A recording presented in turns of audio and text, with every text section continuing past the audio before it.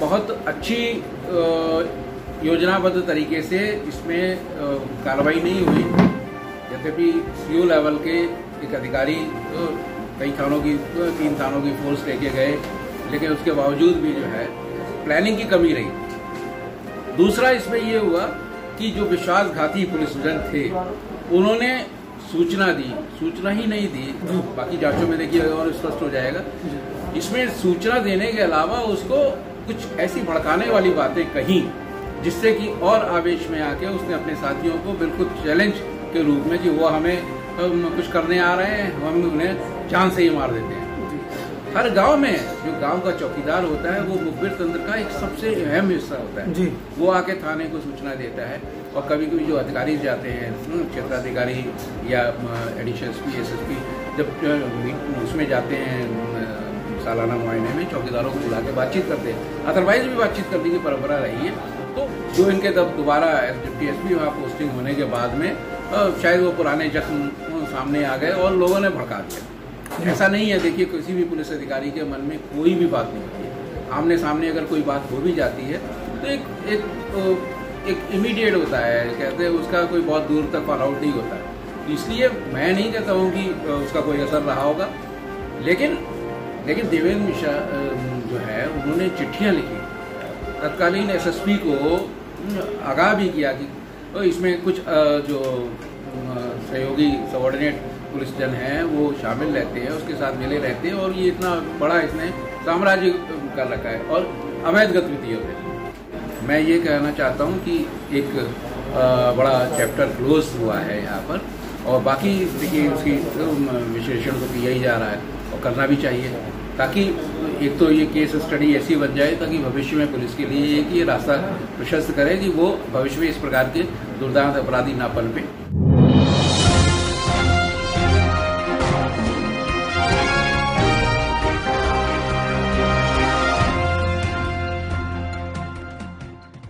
Sir, विकास दुबे हत्याकांड में police की भूमिका को संदिग्ध माना जा रहा है।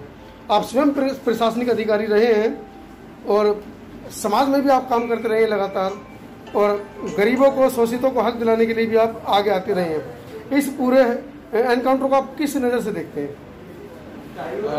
देखिए अंतानी जी इसमें दो तीन प्रश्न इसमें आपने मिक्स कर दिए हैं।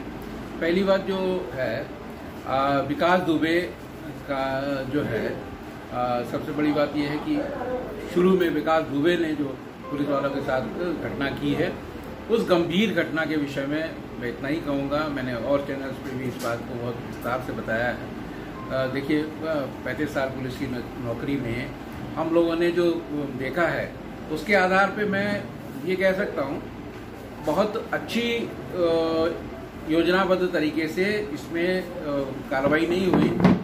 यद्यपि सीओ लेवल के एक अधिकारी कई थानों की, तीन थानों की फोर्स लेके गए, लेकिन उसके बावजूद भी जो है प्लानिंग की कमी रही। दूसरा इसमें यह हुआ कि जो विश्वासघाती पुलिस पुलिसजन थे, उन्होंने सूचना दी, सूचना ही नहीं दी। बाकी जांचों में देखिए और स्पष्ट हो जाएगा। इसमें सूचना देने के अलावा उसको कुछ ऐसी भड़काने वाली बातें कही, जिससे कि और आवेश में आके उसने अपने साथियों को बिल्कुल चैलेंज के रूप में कि वो हमें कुछ करने आ रहे हैं हम उन्हें जान से ही मार देते हैं। ये इतना बड़ा दुस्साहस जो विकास दुबे ने अपने साथियों से मिलके जो किया वो उसमें शायद इतनी क्षति ना होती अगर हमारी प्लानिंग जो है और अच्छी रहती।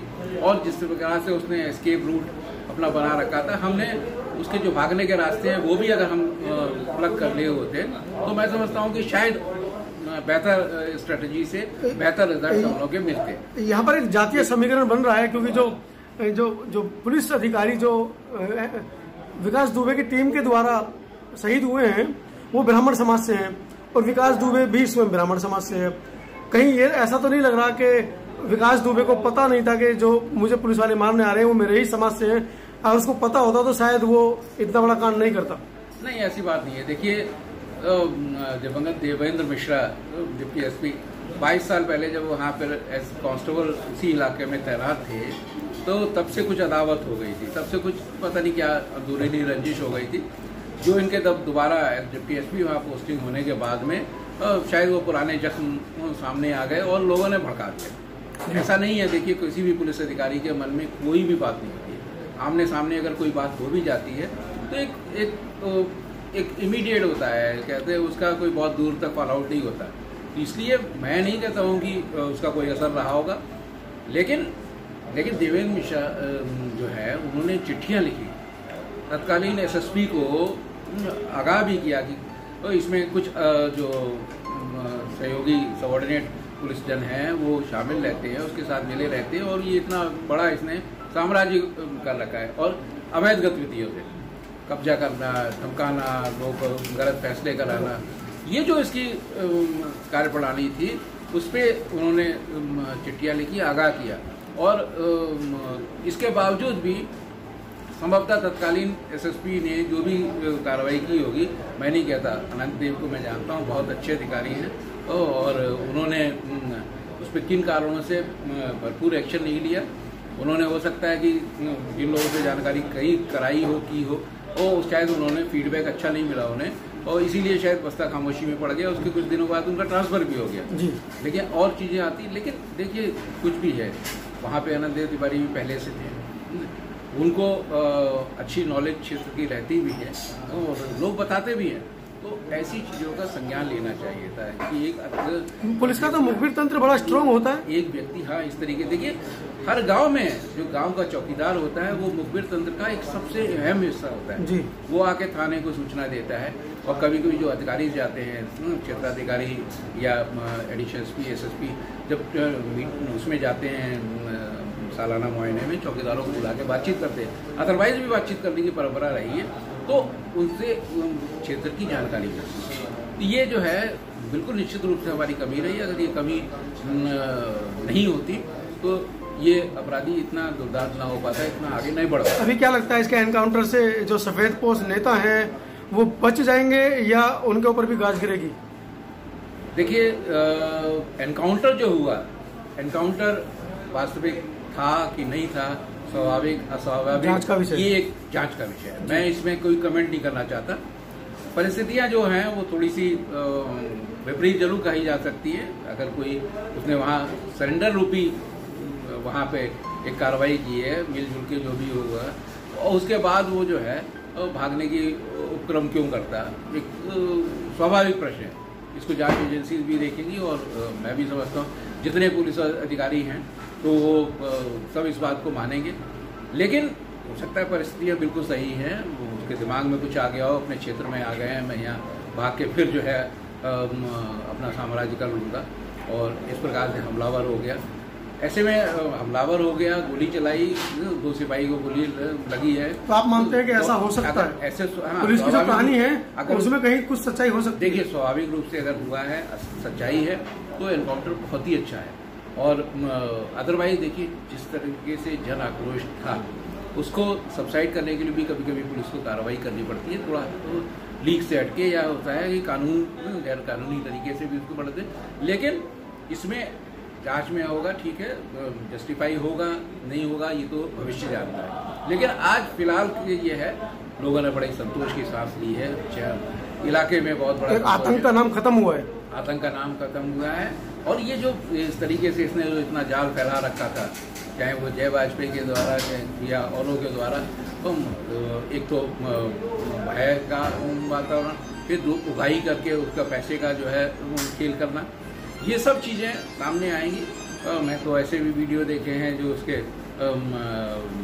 बहुत गलत तरीके के वीडियो भी मैंने देखे हैं। अब वायरल हो रहे हैं उसके मरने के बाद। हाँ मरने के उससे पहले लोग लोग डर कर नहीं कर रहे थे। तो इसका मतलब कि टेरर था उसका। है हाँ वुमेनाइजिंग में भी उसका जो वीडियो आया है तो वो तो वो भी पता नहीं वो सही है क्योंकि उसमें बहुत ज़्यादा छिड़काने की संभावना नहीं लग रही है। बट एनी anyway, मैं ये कहना चाहता हूँ कि एक बड़ा चैप्टर क्लोज हुआ है यहाँ पर। और बाकी देखिए उसकी विश्लेषण तो किया ही जा रहा है और करना भी चाहिए। ताकि एक तो ये केस स्टडी ऐसी बन जाए ताकि भविष्य में पुलिस के लिए एक ये रास्ता प्रशस्त करे कि वो भविष्य में इस प्रकार के दुर्दांत अपराधी ना पन पे। उनके शुरू में ही उनके खिलाफ कार्रवाई हो जाए। हमारे पुलिस के जो ऐसे लोग हैं जो विश्वासघात करते हैं, वो भी विश्वासघात ना कर पाएँ। उनके खिलाफ भी कोई ज़रूर ऐसी स्कीम बना लें ताकि सारे कर्मचारी अधिकारी जो हैं वो सजग भी रहें और उनके ऊपर वाले अधिकारी उनके ऊपर बराबर नियम कंट्रोल नियंत्रण भी कर पाए। नियंत्रण रखे निगाह रखे सतर्क दृष्टि बनाए रखे। और मैं समझता हूँ कि अभी आने में आने के देखिए जुडिशियल इंक्वायरी भी है हाईकोर्ट जज एक इंक्वायरी कर रहे हैं। और इसके अलावा एसआईटी जाँच करें एसआईटी की जाँच में बहुत सारे बिंदु हैं। तो मैं समझता हूँ कि बहुत सब चीज़ें क्लियर हो जाएगी। अभी कुछ समय ज़रूर लगेगा। महीना दो महीना समय लगने की संभावना है। बाकी देखिएगा सब सही होगा।